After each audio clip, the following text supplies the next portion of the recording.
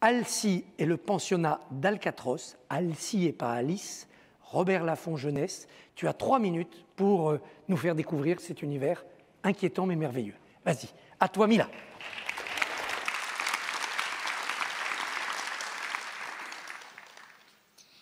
Eh bien, chers professeurs, chers collègues, voici notre nouvelle machine à construire un palace de mer.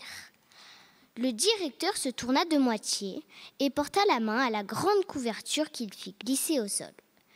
Waouh Non Pas possible De stupeur, tous les professeurs reculèrent d'un pas.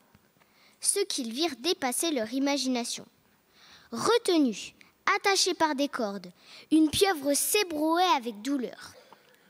Chacun de ces huit tentacules avait été recouvert de fines lamelles de métal et à leur extrémité avait été greffé un ustensile qui pouvait à la fois découper, cisailler, entailler, creuser, défricher, en un mot, anéantir.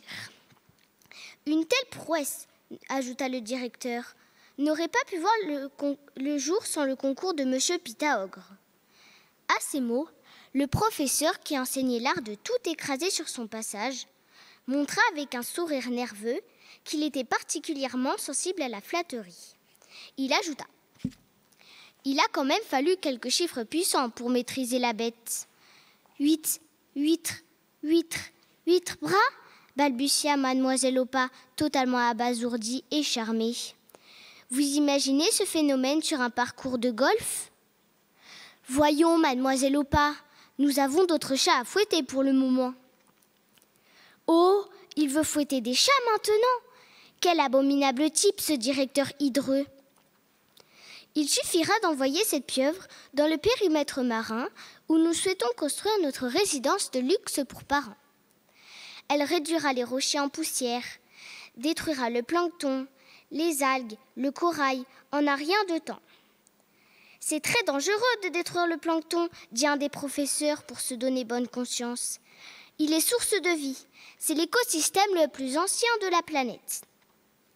Oh, personne n'en saura rien, dit le directeur. C'est sous l'eau. Observant ce pathétique spectacle par le trou de la serrure, Hugo était choqué. Sans réfléchir aux conséquences de son geste, il agrippa la poignée, bien décidé à faire irruption et à crier aux adultes de retrouver du bon sens. On ne pouvait plus continuer à détruire la planète par pur égoïsme. Il n'y avait plus de plan B. Même le professeur des chiffres puissants devait se rendre à l'évidence. Malheureusement pour lui, les professeurs avaient pris la précaution de fermer la salle de l'intérieur. En revanche, tous entendirent et virent les mouvements de la poignée qui s'agitait dans le vide. Mademoiselle Opa se précipita vers la porte, en débloqua le loquet et tomba nez à nez avec Hugo. Hugo Drummond, qu'est-ce que tu fabriques ici? Bravo Mila